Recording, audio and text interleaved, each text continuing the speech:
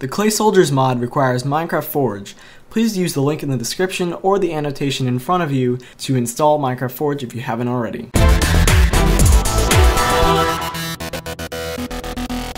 Hey there guys, it's Delta249er here with a tutorial on how to install the Clay Soldiers mod for Minecraft 1.5.1.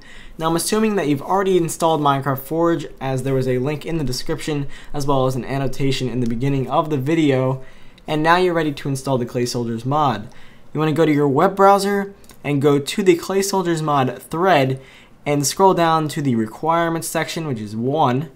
And you need to download the My Manager pack. So right click the download link and click open in new tab. And also you already have Forge and the latest version of Minecraft, of course. Um, but you will need to get the mod itself. That's just a pack he has. Uh, now just let that load and you can scroll down to 7 section 7 on the thread. It's fairly far down.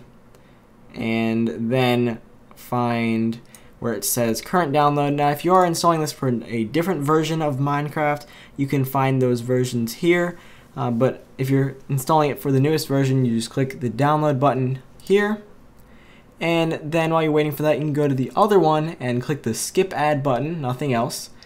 And then I can go back to this one and click skip ad again and then uh, download the man pack. Download it and save it on your desktop here. And then go back to the other one and download the csm.jar and save it on your desktop as well. Now you can minimize your browser of course if you're watching the video then you don't need to do that. Now you have the two files on your desktop and you want to press the Windows key and then R. It will open a run command and type in percent appdata percent, so percent app data percent. Click OK. It'll open up your app data folder, and then go to your .minecraft folder. And if you have a mods folder, that's fine. Just make sure there's nothing in it. Make sure it's empty. And then you want to find your Clay Soldiers mod files, select them, drag them into your mods folder, and you are set. Now let's go into the Minecraft launcher and see if it works.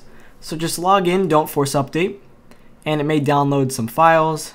And then it should say on the bottom left hand corner forge and five mods loaded if you don't have any other mods.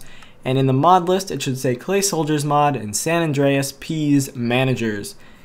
And of course if you're installing other mods do make sure that they're updated. And of course make sure these mods are updated for the version of minecraft you're using and of course, if you have any questions, you can leave those in the comments below. Uh, do make sure that you followed it correctly and that you followed the Forge tutorial correctly. Um, but then, yes, if you have any questions, you can leave those in the comments below and I'll be glad to answer them. And of course, if you found this helpful, a like and a favorite would be greatly appreciated. And also, if you're new to the channel, make sure you subscribe for more daily content. Thanks for watching.